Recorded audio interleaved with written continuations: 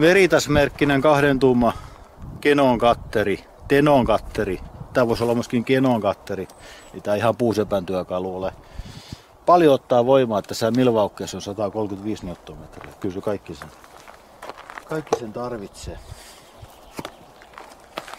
Että taas se lähtee ohjautumaan helposti vähän sivuun. Mutta kyllä siltä tuosta puutappia saa ja rakennuskäyttöön menee ihan hyvin. Niitä penkkejä ja jakkaroita tuli nyt sitten enemmänkin tehtailtua, kun mä teen sen Genokontti Pora-videon. Tässä on tällainen jakkara, kun mä teen nyt ihan viimeiseksi, niin lähisukulainen on menossa lonkkaleikkaukseen. Tää on 55 senttiä korkea, normaalista tuolit on 46 senttiä. Mä tykkään näistä massiivi, massiivirakenteista, ei mitään liimattuja puunpaloja.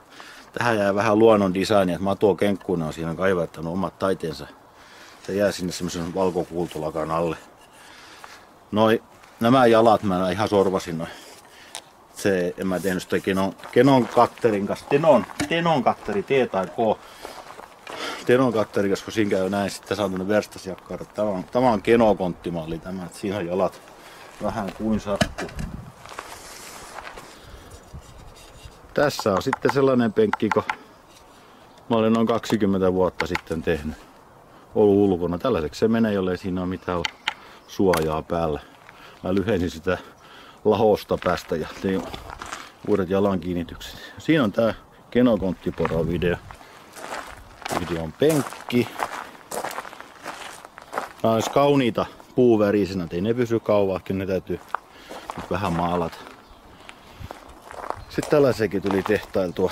Oli tuosta kelo, kelon tapasta mäntyä halkastuna kolmen metrin pätkä, niin mä tein sit penkin.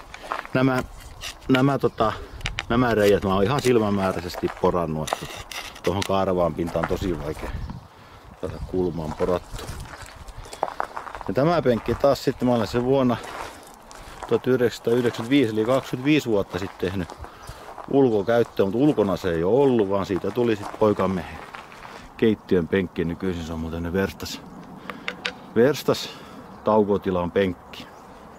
Massiivimäntyä. Että tällainen sikermä sitä sitten tuli tehty.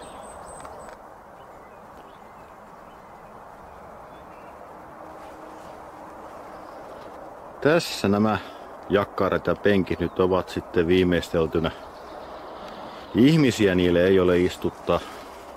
Kukkaset ainakin saavat sitten tukevan jalustan.